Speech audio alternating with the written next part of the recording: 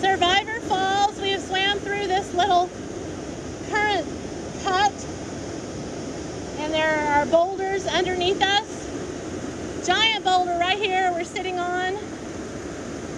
And this is where paradise begins. So awesome. Oh. Oh, no.